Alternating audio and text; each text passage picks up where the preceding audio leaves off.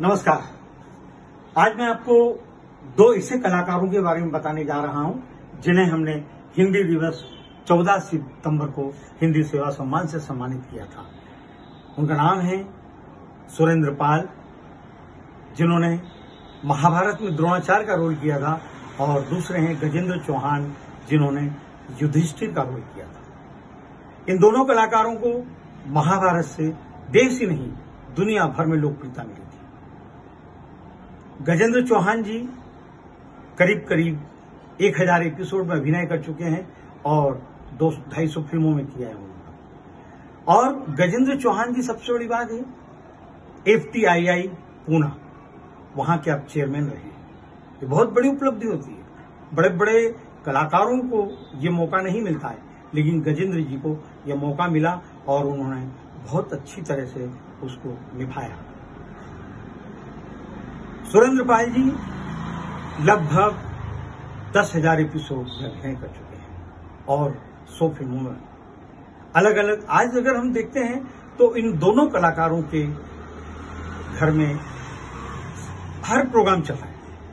शक्तिमान श्री कृष्णा महाभारत, रामायण, विष्णु पुराण, चाणक्य, महाराणा प्रताप, पृथ्वीराज चौहान, इस तरह के जो सीरियल अभी चल रहे हैं, दूरदर्शन पर और अन्य जगह, देवों के देव, महादेव ये सभी सीरियलों में इनकी महत्वपूर्ण भूमिका है।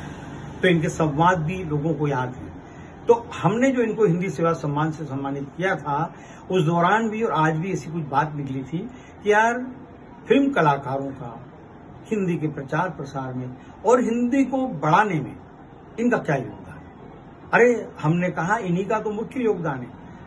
फ़िल्मों का, गीतों का और ये इनके संवादों का।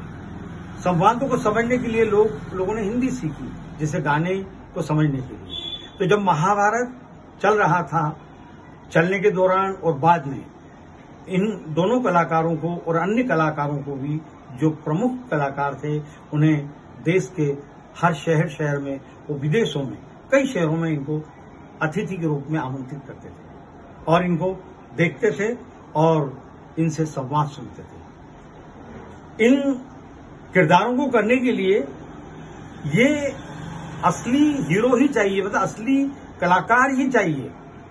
फ़िल्म कलाकारों में तो क्या डुप्लीकेट बहुत होते हैं? अमित जी के डुप्लीकेट, प्रेम चोपड़ा जी के डुप्लीकेट, सभी कलाकारों के डुप्लीकेट हैं। वो उनकी पूर्ति कर देते हैं कि वो स्टार नहीं आया तो उसका डुप्लीकेट आ गया।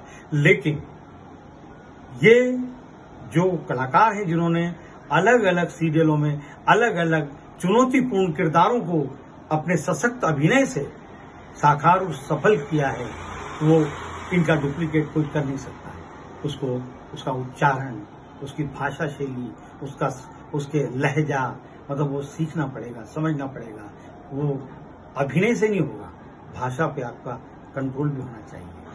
तो इस तरह के इन्होंने जो किस्से सुनाए थे वहाँ पर कार्यक्रम के दौरान अपने संवाद को लेकर कि हमने जहाँ जहाँ जाते थे, हमसे संवाद बुलवाते थे और कहते थे वंस मोर वंस मोर तो इस तरह हमने ये देखा है कि इन कलाकारों का बहुत बड़ा योगदान होता है और आगे भी हम इन कलाकारों को सम्मानित करते रहेंगे, क्योंकि ये लोग और दूसरी जगह जाते हैं तो इनको पैसा दिया जाता है। अच्छा पैसा दिया जाता है इवेंट के नाम पर। लेकिन ये हिंदी के कार्यक्रम में अपनी राष्ट्रभाषा, राजभाषा को इतना सम्मान देते हैं कि सहर्ष आ जाते हैं अपनी शूटिंग का एडजस्टमेंट करके। तो हम इन दोनों के आभारी हैं और आगे में कल आपको शकील आजमी, जो शायर और गीतकार हैं, उनके बारे में कल बताऊँगा। धन्यवाद।